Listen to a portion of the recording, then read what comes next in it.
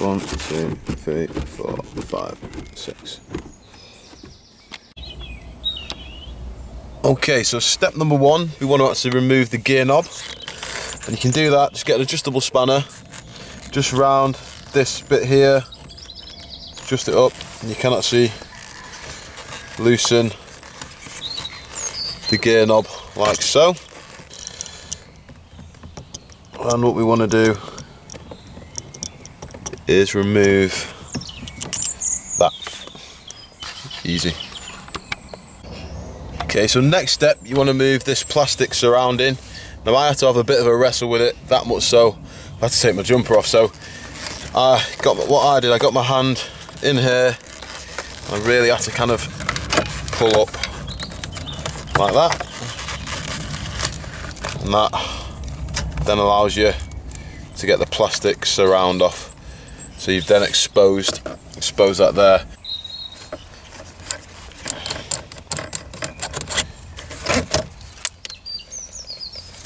Easy.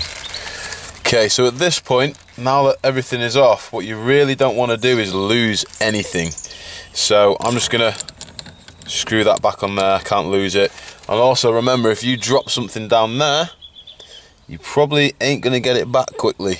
So you don't want to do that, okay? So just be very careful. Okay, so the next step is we want to re remove this kind of armrest here and all that. So to do that, you've got a number of these on each side. Find every single one. We want to unscrew those. You've got one there. You do have one in behind the seat there. And we also have one down there, got one there. We do have one in there as well. I don't know if you saw that one, but you get the gist. So next step, let's get those out. And I'll join you once I've done that. Okay, so I actually pulled out five of these, and uh, there was actually only four of the bolts that I needed to take out. The one near the driver's pedals is actually for the front section, so you don't actually need to take that out. But again, uh, I'm just keeping everything safe.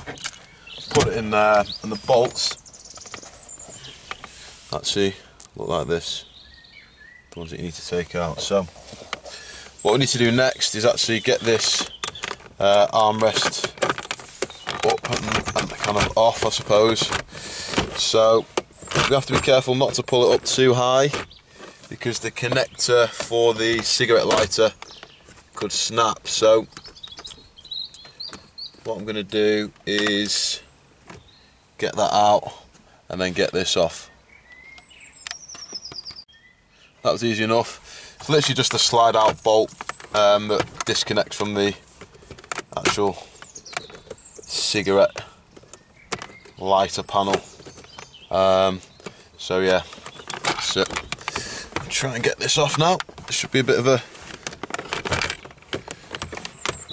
should have emptied the uh, should really have emptied the uh, armrest. It's full of just crap. So I'm going to place that there.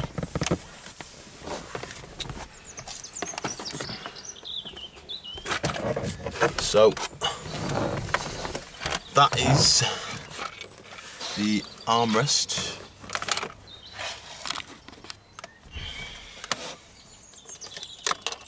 It's uh, full of all my stuff. It's all out. Right, so the armrest is out. This is kind of what you kind of gives you the space. Now you can see everything in there. And armrest. Just there. Look how much rubbish is in there. But yeah, anyway. So yeah, armrest is out. I'm gonna give all that a clean. I mean, look at all that. Ugh. Give it a clean, and then we'll get the get to the good stuff. Get that short shifter on. Okay, so you do have to actually remove this front bit as well. Now to get to that, you'll find on this side, you've got that there and it's a pull out bolt. It's a little bolt like that. I just used a screwdriver, kind of flicked it out. So again, I'm gonna try and keep that safe. I believe on the other side, um, at the somewhere yeah, there's another one on the other side to get that out as well. So I'll get them out, get the front bit of the dash out.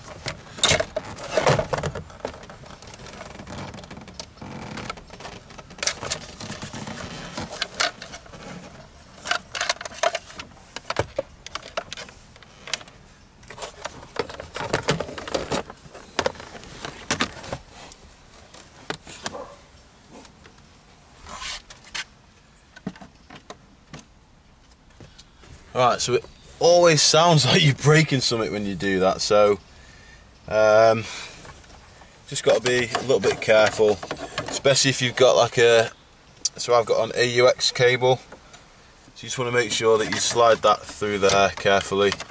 But now we've got a nice big space to work from. Show you. Um, nice big space to work from. And the dash is out. So I think that was steps four five and six but at least you've seen it. And yeah that's what it looks like under here. So let's get it started. Okay so next step is we need to remove and expose the ball joint which is just on these clips here. You'll see there's like a little these little clips.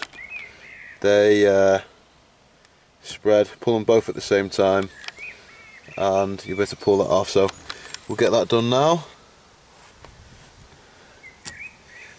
And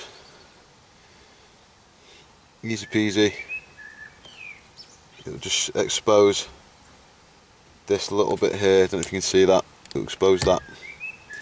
Now that you've done that, you then need to use this tool to remove the that part there. So uh, I've never actually used this tool before as you can probably see. Um, but yeah what you do is this this pulls this tool pulls that out. I'll be back with you when I've done that. Okay, so just to confirm, to remove that this blue clip that was on there, I had to pull pretty hard. Now what I did is I clipped it on like that, and I had to get two hands just on it like this, and probably had to pull it about 60%, 60 75%. I had to pull quite hard, so don't be scared of doing that and this one here it didn't break because we will need to reuse that later. Okay so next we need to remove these bolts. These ones here there's three. You see one two three. Now for me it's a it's a 12 mil bolt. That needs to uh, be used to remove them so get them all loosened and removed. Now should really release this, which is the white. It's a white clip. You can take that off. That'll just help it. Just make maybe make it a bit easier for you. Not necessary, um, but yeah, that bit there is just on the passenger side of the gear shuttle, so the gear mechanism. Um, so yeah, you can take that off. That should make it just a bit easier for you to get in between, in between there. So again, it's all been loosened. It's quite a big wrench spanner, so it's uh, a little bit fiddly.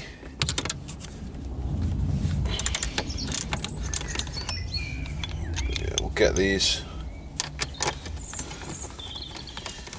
get these bolts off.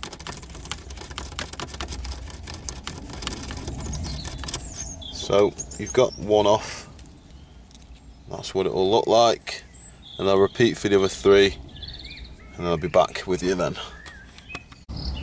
Right, so next you want to get these rubber kind of bushes out. Now, I find these a little bit fiddly, so I've actually had to get like kind of two screwdrivers. Uh, you want to try always. Right, now I'm not to lie, getting that top bush out was a bugger, so I'll show you a little trick. I bent this just to the left and that just allowed me to so this hole here I made sure I could push something through that I don't know if you guys can see it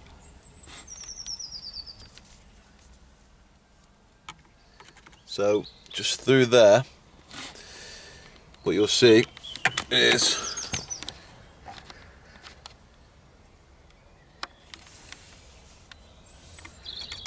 that there I was just able to push that through like so. Okay. Right, see you in the next step. Okay, so we now want to refit these. Now these are the ones that come with the short shifter itself.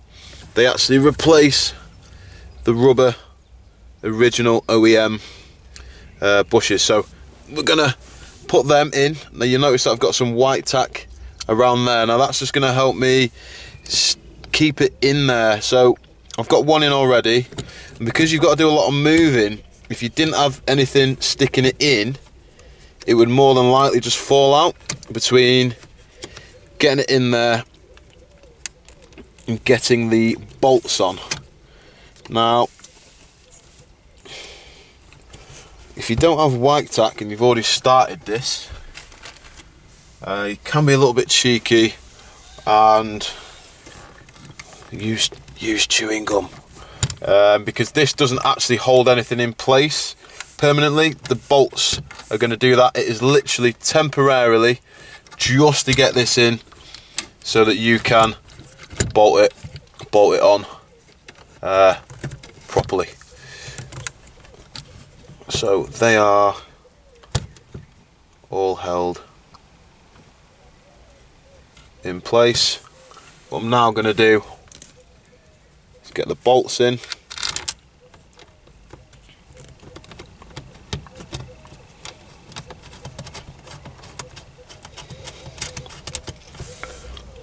Get these in so I'll show you closer what I'm doing. Take the camera off the tripod show you. So what I'm now actually doing is I'm just I've used the blue tack to hold those in there. One, two, three. And I'm now just screwing these back in. Just think finger tight.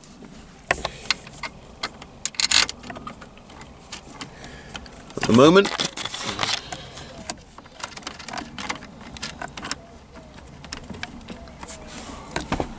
and there is three of those. Just make sure they're they're all in. Like so. So once they're in we'll move on to the next step. I'll get them tight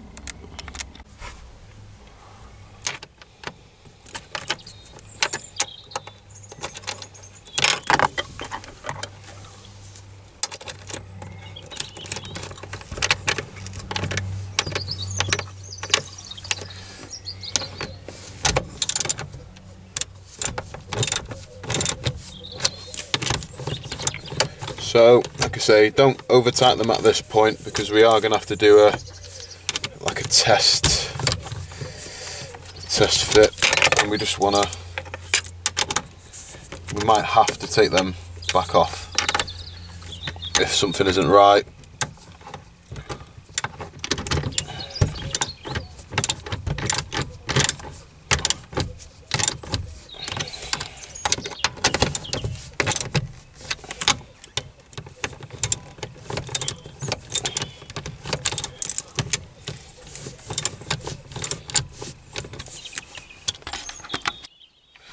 Okay, so now what we're going to do is we're going to get to the main part of the short shifter install. Now, we're going to replace the cap that was on here. This is now going to go onto this bit. Now, you can, you may find you may have to use a vise to get that on. That's what I'm going to do. Um, and just, you know, just clamp it, get the pressure. You should click on. But if you are feeling a bit strong, you should, you might be able to just get it and push it on like so. So once that's done, we'll get on to the next bit. Oh, also, don't forget to grease it. Get some WD-40 or something like that. Just get some spray on grease on the top there. And also I'd lube it in there as well. Okay, so now what we want to do is install the short shift mechanism to the end of the gear stick. So that goes in on there then we just use the Allen key tool just to get that right. Now, this is supposed to be very, very tight. Now, what I've done is I've greased that, and I've greased that, hence why I've got this glove on now, just to keep my hand a little less greasy, but it is super slippy. So, just want to make sure you get that on nice and tight.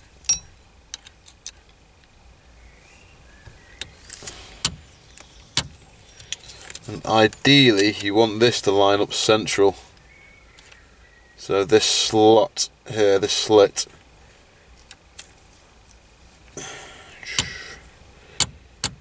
Is central. And when it's tight you don't want to strip the thread. What we now need to do is get them catch back on, which is this.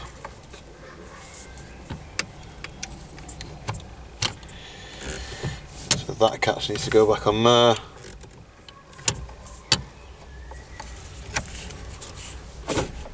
Also need to get this back on there. Now, what I'll now do is I'll now put the gear knob back on and I will just test to make sure that none of the gears catch. And I read online that sometimes second, fourth, reverse can catch. So what you want to do is I'm going to get into the driver's seat now. I'm going to test the gears and make sure that this bit here isn't catching on the plastic. Okay, so just doing the test, I've noticed that so it is actually catching. So second catches fourth catches. See? See what it is? It's just that there.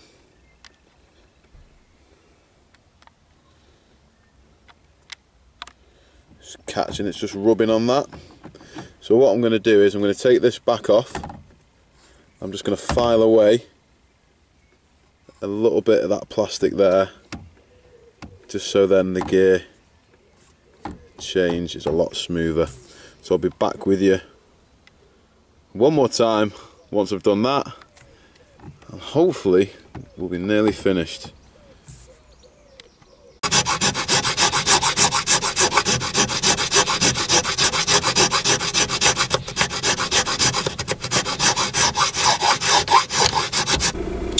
Right, so I've been now filing just in that that gap there. In there, and it's probably I didn't think I'd have to file as much or take as much off to get it to fit through, but it now has, it now fits. So I've probably been filing for about a good 20 minutes Um, so yeah, a lot of filing. So just be prepared to to file for a bit. But now what you'll notice is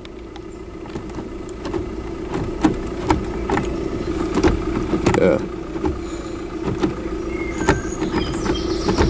Sweet. So so yeah, it's uh, a lot shorter. So now just gonna get everything back on, give it a bit of a tidy up, and then we'll probably I'd recommend going for a test drive, going for a spin, just make sure everything's okay. But the main thing is just making sure that's not catching. So we'll get everything back on and see how it goes from there, I suppose.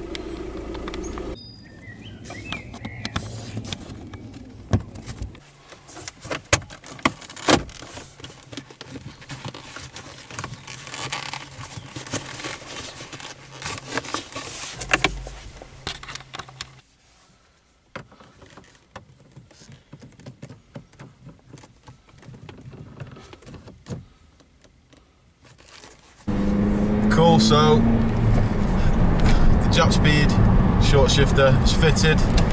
Just taking it just for that test spin now. Uh, and surprisingly, um, for what, 15 pounds, the change is it's awesome. Like, I don't know why I didn't do it first. The gear throw, when they say it feels you know 40% shorter, like it, it, it, certainly does reduce the throw by at least 40%. Now, what I'll do now, I'll just show you a, a few gear changes, just so you can see for yourself. And, uh, and yeah, I definitely recommend you go get yourself one.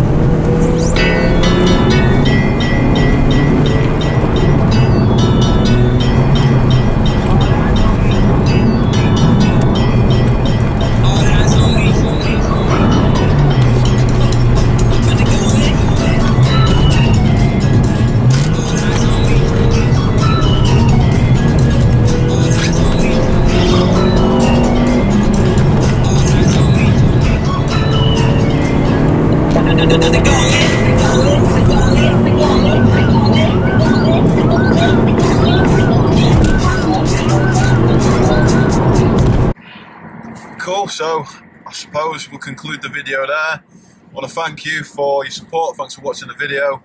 I hope you have found it useful. If you have found it useful, please like, please share, please subscribe.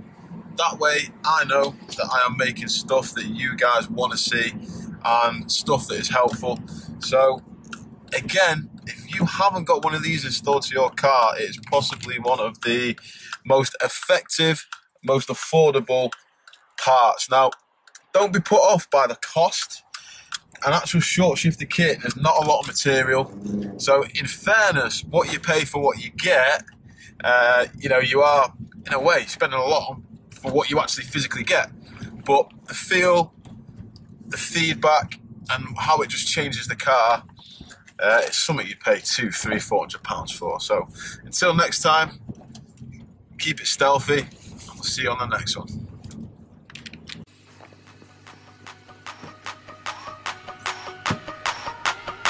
Okay, it's rap pack to my pulse flat. We keep it real, no false rap. I got four cars and they all black. Got four bras and they all that. We call that ballin'.